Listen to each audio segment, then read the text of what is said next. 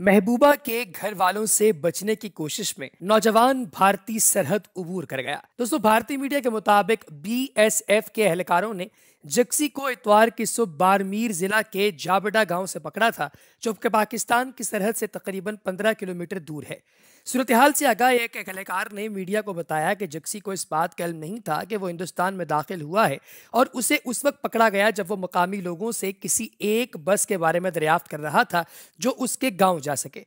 जक्सी से पूछताछ करने वाले बीएसएफ के एक सीनियर अफसर ने बताया कि उसने दावा किया है कि वो गलती से हिंदुस्तान में दाखिल हुआ था।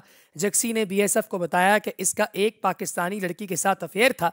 लड़की का गाँव भारतीय सरहद से तकरीबन आठ किलोमीटर दूर है। जक्सी के दावे के मुताबिक वो अपनी गर्लफ्रेंड से घर इस नीयत से गया था कि वो इसे भगा कर ले जाएगा, लेकिन लड़की ने एन वक्त पर इनकार कर दिया और ऊपर से उसके घर वालों को भी मामले की भिनक पड़ गई, जिसके बाद जक्सी बड़ी मुश्किल से लड़की के घर से भागने में कामयाब हुआ।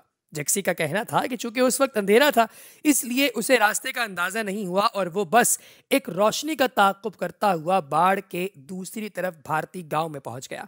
बीएसएफ एहलकारों ने कहा कि उसने जो लाइट देखी वो गालिबन बीएसएफ की फ्लड लाइट थी, जो सरहद के हिंदुस्तानी जानब नसब थी।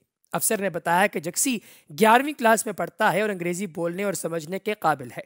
अफसर ने कहा कि उसकी गर्लफ्रेंड एक आला ज़ात की हिंदू है और उसकी उम्र तकरीबन सत्रह साल है और गालिबा ज़ात पात का फ़र्क इन दोनों के एक होने में सबसे बड़ी रुकावट होगा। बीएसएफ हुकाम को इसके पास से कोई मशकूक चीज़ नहीं मिली और हुकाम ने बताया कि वो पहली बार हिंदुस्तान में दाखिल हुआ है और एहलकारों ने इसके अलावा ये भी कहा कि इसे मकामी पुलिस के हवाले कर दिया गया है, जहाँ इससे मुख्तलिफ़ सिक्योरिटी एजेंसियों के नुमाइंदे पूछगछ करेंगे।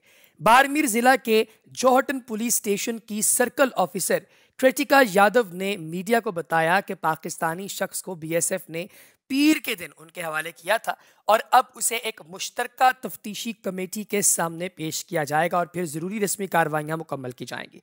हिंदुस्तानी टाइम्स के मुताबिक वाक़ राजस्थान के ज़िला बारमीर के कमहारू कतबा से ताल्लुक़ रखने वाले एक सत्रह साल लड़के गैमारा राम की याद दिलाता है, जो 4 नवंबर 2020 की रात को एक लड़की के साथ पकड़े जाने के बाद बैन अवी सरहद उबूर रहा था और इसके अहल खाना ने 16 नवंबर को उसके लापता होने की तला दी और बाद में पता चला कि उसे पाकिस्तानी रेंजर्स ने पकड़ लिया है। पाकिस्तान की एक अदालत ने उसे छः माह कैद की सजा सुनाई थी, जो उसने जनवरी 2022 में पूरी की। ताहम दोनों ममालिक के दरमियान जेर अल्तवा रस्मी कार्रवाई की वजह से वो चौदह फरवरी दो तक पाकिस्तानी जेल में रहा। और फिर बिलाकर वतन वापस गया।